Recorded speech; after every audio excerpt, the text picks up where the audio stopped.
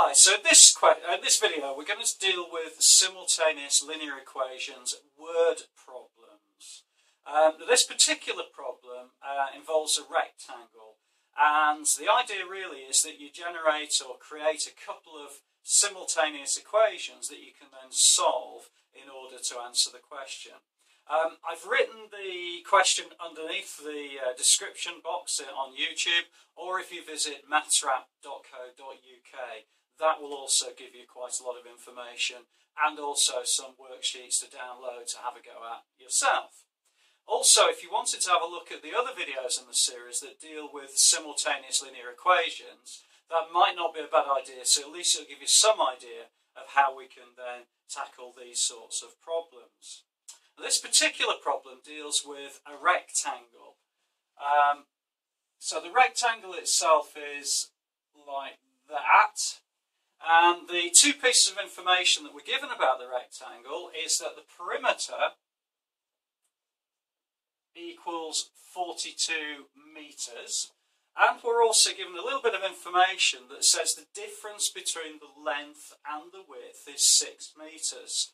So if I just write up there, the difference between length and width equals 6 metres. And actually, those are the only two pieces of information that we're being given.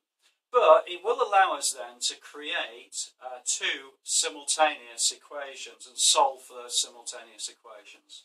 So the first thing that we need to look at is um, we have a rectangle. And one of the properties of a rectangle is that this dimension along the top, which we'll call the length, is exactly the same as the dimension along the bottom there, which is also the length, which is also the same, or the, the dimension here, which is the, the width, is also the same as this dimension here, which is also the width.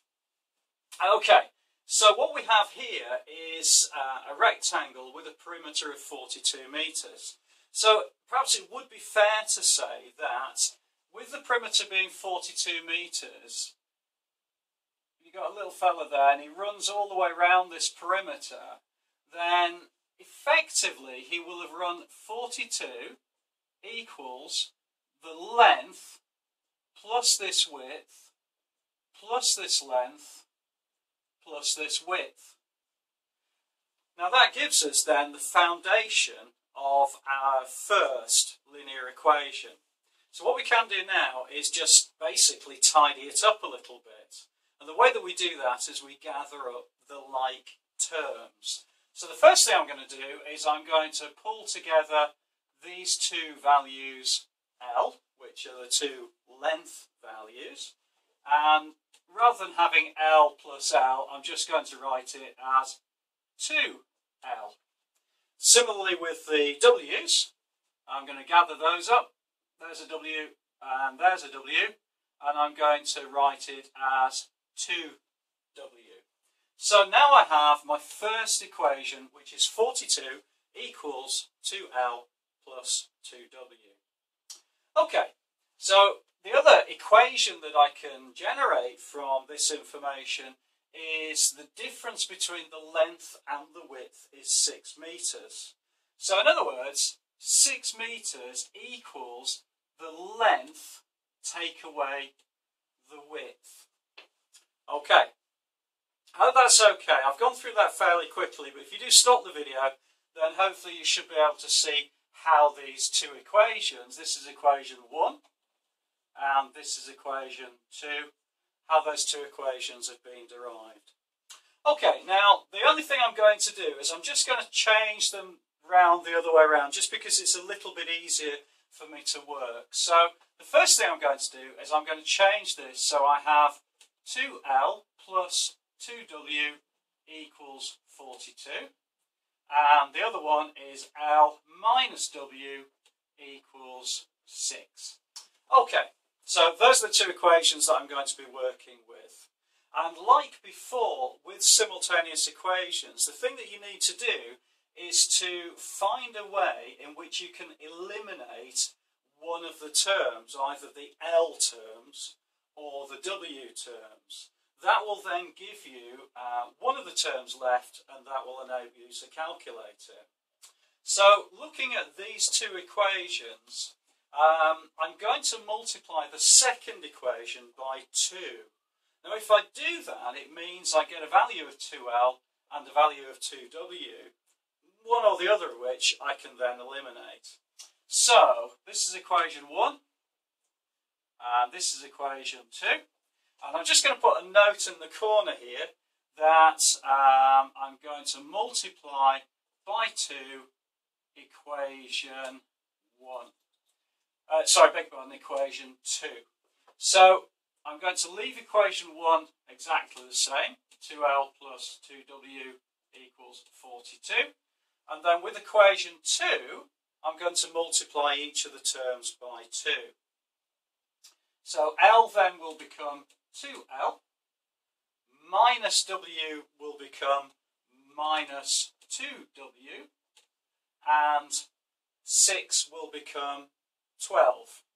Now if you look at um, the other videos on solving simultaneous linear equations, um, you'll see that I haven't actually changed this equation at all. I've just simply multiplied it by 2. Um, and it just makes my life a little bit easier now because what I can do is I can add these terms together. And if I add these terms, these two equations together, positive 2 added to negative 2 means that I will cancel it out. So I'm left then with two L's on that equation, that equation, and 42 and 12 on that equation. So that's exactly what I'm going to do. So I can now say, well, 2L plus 2L is 4L. Positive 2W plus minus 2W is 0 and that equals 42 plus 12, which is um, 54. Okay, so the value of L, or four lots of L, is 54. And then, as I would normally deal with algebra, what I'm going to do now is I'm going to divide both sides by 4. 4L divided by 4 will give me L and 54 divided by 4, I'm just going to do a very quick, um, short division in the corner here, just to give me a quick uh, note of my working. And also it's very good to show the examiner that you've um, taken a little bit of time to make sure that your arithmetic is correct. So 4 into 5 go 1, 1 left over, 13.5. Okay, so the value of L is 13.5. Okay, now just a couple of things really with this is that you'll notice that as I've been working down, I've been working straight down the page and like a lot of algebra, it's always good to work down the page and make sure that you keep everything in balance. We've got to a position now that we've worked out a value of L of 13.5. So in other words, this distance here is 13.5 and this distance here is also 13.5. Okay, what we can do is then take that value of L and put it into any one of the equations to work out the value of W. So if I put it into equation 2, it's probably a little bit easier.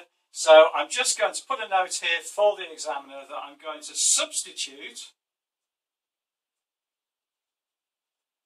L equals 13.5 in equation 2. Okay, so the equation 2 is L minus W equals 6. So I'm going to substitute it in. L is 13.5 minus W equals 6. So what I'm going to do then is take 13.5 from both sides. So if I take 13.5 from both sides, minus 13.5 there. So it's a little bit like a, a number line, if you like. What I have got is, at the top here, I've got positive 6. And then I'm going to come down 13 jumps, or 13 and a half jumps. And when I come down 13 and a half jumps, that's going to give me a value here of minus 7.5. So in other words, minus W equals minus 7.5.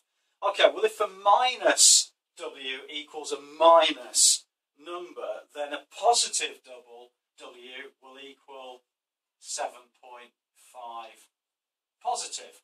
So the two values I've now got is L equals 13.5 and W equals 7.5. So this is my value of W up here, 7.5 and 7.5 there. Okay, so the final thing that you need to do is just to check your working to make sure that you've got the correct answer. Now it seems a little bit at the moment the board has got quite a lot of working out and it would be good uh, to write the proper answer at the side here. So when you're answering these sorts of exam questions, always make it very clear that you've shown your working, but also make it very clear that you've got an answer. So um, you could put something like length equals 13.5 meters, width equals 7.5 meters and make it very clear to the examiner that uh, that's your answer and also make it very clear that you followed a route in order to calculate it.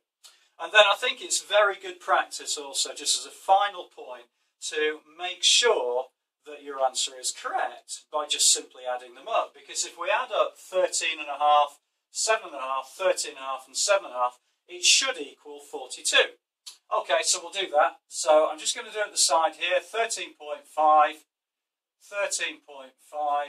7.5 and 7.5 and if we add all of those together we should get 42 in total. So 13.5 plus 13.5 is 27 and 7.5 plus 7.5 is going to be 15 and 27 plus 15 is indeed 42. So it's just a quick check just to make sure that your calculations are right. This should give you full marks on a GCSE or equivalent exam paper. Um, hopefully that's been helpful to you. Uh, if you like what you've seen, please do subscribe or post or tweet or pin. Um, you can also add a comment below and I will do my level best to get back to you. Or you can visit mathswrap.co.uk and that will give you quite a lot of information as well. I look forward to seeing you inside the next video.